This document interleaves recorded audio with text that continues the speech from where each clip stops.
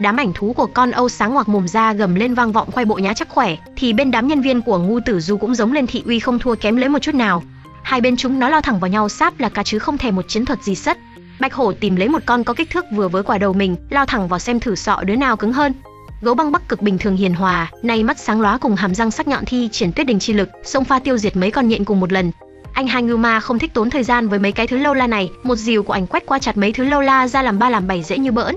Khôi trụ tạm thời chưa dùng được đến cái tay ngắn cũn của mình, chơi sóng âm siêu thanh thổi vù mấy con bên phe đối địch, không cho chúng lại gần. Ảnh thú của Âu sáng ngoài chất lượng chưa được kiểm định thì số lượng cứ phải gọi là lúc nhúc không thôi. Nhắm thấy cửu vĩ có thực lực mạnh không nhất thì nhì ở cái nơi này, chúng nó hò nhau cùng xông lên một lượt vừa thị uy vừa tăng khả năng chiến thắng. Màu lông vàng cháy rực của cửu vĩ nổi bật trên nền xanh đen sọc ngang dọc của bọn ảnh thú. Một tiếng giống của tụi chúng nó nhanh chóng được trị cả đám lại bằng tiếng trầm đục nơi cổ họng, khi mà nó đang vận linh lực khạc ra đống lửa phừng phừng của kỹ năng hỏa diễm phún xạ, tạm thời hóa cho cái đám đánh nhau không đánh cứ thích mở miệng ồn ào. Chúng nó chỉ còn lại những mảnh rời rạc rơi là tả trên không trung, trong khi cửu vĩ vẫn uy nghiêm lãnh đạo một màu rực rỡ trên nền trời. Binh, dễ cây đen thui của ngu tử du đâm thẳng vào lớp giáp của Âu Sáng, bên chỗ đám nhân viên đang tăng ca cật lực thì hắn cũng phải đấu trực diện với kẻ cầm đầu của phe đối địch. Con Âu sáng chừng hai cặp mắt nhìn ra kẻ vừa tấn công mình với cái kiểu thù địch xen lẫn kiêu ngạo bởi đòn vừa rồi không mảy may làm suy xuyển lớp giáp cứng của nó. Ngu Tử Du nhận ra không ổn, rễ cây của mình có thể so với lưỡi khoan hạng nặng, vậy mà không xuyên qua nổi lớp giáp của cái con nhện không ra nhện, ong không ra ong này sao? Vừa body slamming xong nó phóng ra quá trời sốc tu đủ các độ dài từ sau mông vòng ngược ra trước, dễ dàng đổi thành đầu nhọn xuyên thủng trái phải trên dưới của cây liễu dễ dàng. Mấy cái xúc tu hóa nhọn đó vọt ra tới đằng sau, cày tung trận địa của đám ảnh thú sen lẫn nhân viên công ty đa giống loài, khiến chúng chật vật một phen, Ngu Tử Du mắt nhìn thấy liền biết mình phải tìm cách rời khỏi nơi này nhanh chóng. Trận chiến của những ông lớn lúc nào cũng có quy mô vượt trội hơn đàn em, chưa kể hắn ở đây có khả năng sẽ liên lụy đến đám bọn chúng. Nào ngờ khi hắn vừa quay lại nhìn đối thủ, cái miệng của Âu Sáng đã kề cận bên cái bầu của mình rồi. Nó ré lên khoái chí, nhìn đi đâu mà nhìn thấy đánh trận không lo đi này. Cạp một phát con Âu Sáng rất thẳng cái bầu của Ngu Tử Du vào trong cái miệng lởm chởm, để phần khoách của cây liễu chống trơn tơi tả. Nó đang nhai ngấu nghiến thứ dinh dưỡng đậm đặc, rú lên cười sảng khoái cùng hai cái cánh đập phành phạch bên trên ăn mừng chiến tích. Bỗng nhiên từ bên dưới ngu tử du hỏi ngược lên, cười cái gì trông ngu thế hả? Hắn sừng sững ở đó không sứt mẻ miếng nào bởi đã thi triển trí huyền cấp 3 gây ảo giác mạnh mẽ, làm con quẫy tưởng nó đã ăn tươi nuốt sống được cây liễu nhưng tất cả chỉ là giả dối mà thôi. Này thì cười nè. Ngu tử du giáng thẳng cái rễ cây đen xì vào ngay dưới phần ức của con quái thú làm nó rú lên một tiếng đau đớn. Bao nhiêu cánh có được Âu sáng xòe rộng cả ra cố gắng chống đỡ không để cơ thể mình bị cây liễu hất ra xa, nhưng có vẻ hơi vô dụng, cả một vùng tung lên đầy khói bụi mịt mờ khi cơ thể to lớn khổng lồ của nó bị đẩy ngã chồng vó về sau. Âu sáng lồm cồm bò dậy, khép chặt mấy cái cánh bên hông và tỏ ra dò xét đối thủ. Nó cất đi cái vẻ ngạo mạn, nhận ra mình phải thận trọng hơn bởi ngu tử du đã chạy sát theo nó. Cùng Âu sáng đứng giữa bãi trứng đang được nó ấp có đến cả chục trăm quả một lần. Nhìn kỹ từ góc của ngu tử du, hắn nhận ra không phải trứng mà là những con nhộng với kích cỡ siêu to khổng lồ. Một con Âu sáng đã khiến bao nhiêu siêu phàm giả và dị thú khốn đốn, thêm khoảng 10 con như thế này nữa chưa chắc thế giới còn tồn tại, đừng nói đến 100 con tốt bụng lên tiếng giải thích cái mặt ngơ ngẩn của ngu tử du âu sáng tự hào giới thiệu đây toàn là con của mình đấy. Chúng rồi sẽ nở sớm thôi và tất cả các sinh vật trên thế giới này sẽ trở thành thức ăn của bọn ta. Ngu tử du nhìn chăm chăm con súc sinh đang nói nhăng nói cuội về chuyện muốn thay đổi đỉnh cao của chuỗi thức ăn như thế nào. Rằng nó muốn về sau này thế giới này sinh ra bất kỳ sinh vật nào cũng nằm trong sự kiểm soát của nó mà thôi. Nó cũng nhận ra ngu tử du cố tình đánh lùi mình lại để rời chiến trường qua chỗ khác. Sợ linh lực của tao làm ảnh hưởng đến cấp dưới của mày hà liễu? Nhưng không có ích gì đâu nha bé ơi. Thuộc hạ của ta sẽ tiễn đám thân cận của ngươi một ví dụ đầy tự tin mà Âu Sáng nhắc đến chính là bàn chân nửa đỏ nửa đen chạy sọc đang đặt xuống trước mặt Cửu Vĩ đây. Một con ảnh thú trông khác bọt với đám còn lại cả về hình dáng lẫn thực lực bởi nó đã đạt đến danh hai, không có chuyện chỉ một cú tạt đơn giản có thể hóa kiếp nó thành những miếng cho bay lả tả trên không trung nữa đâu nhé. Nhìn cây liễu với vẻ thèm khát, Âu Sáng há lớn cái miệng muốn mở lem lem, chỉ cần nhét được cái đồ thực vật thành tinh này vào bụng, sức mạnh của mày rồi sẽ là một phần của tao thôi.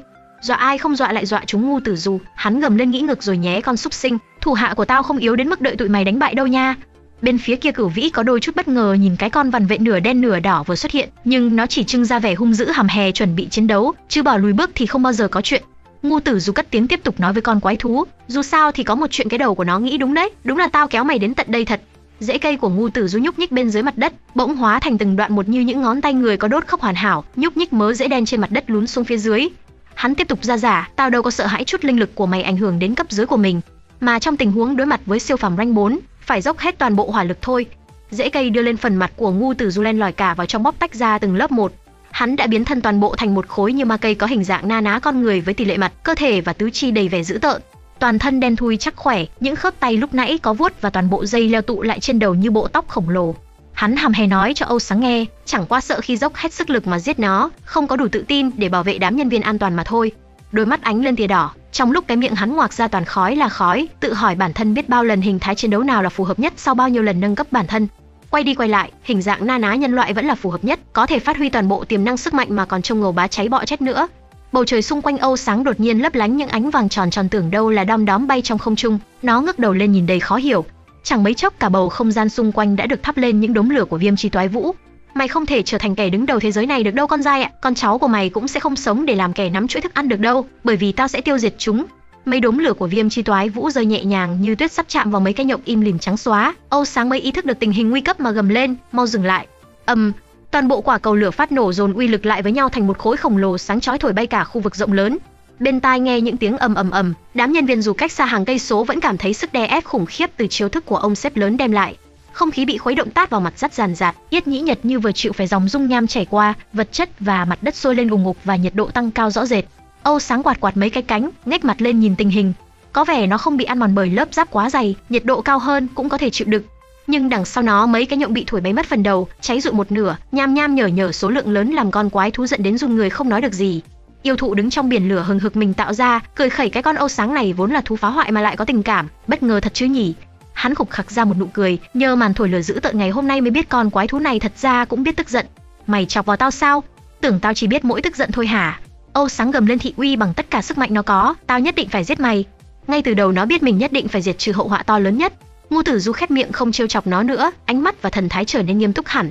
Cuộc chiến sống mái bắt đầu bằng một cú tung ra sức mạnh trực tiếp, hai luồng linh lực chạm vào nhau làm dậy lên một cơn sóng không thấy trời trăng mây gió từ bên trong. Anh camera lại một lần nữa thử thách 24 giờ còn sống để về kể cho con cháu, cùng với chị nhà báo hốt hoảng căng mắt tường thuật trực tiếp trận chiến lịch sử đã chính thức bắt đầu. Tiếng thét của quý anh chị vậy mà thu hút ngay một con ảnh thú trĩa đôi môi gợi cảm vào chào hỏi xã giao. Chị phóng viên không muốn thấy nó đâu, sợ hãi hét lên bay bài bị chìm lìm trong tiếng giống nhức đầu của ảnh thú. Nè ồn ào nè, cú đấm trực diện của một bàn tay lông lá màu đen đấm thẳng vào mõm con thú làm vỡ ngay alo.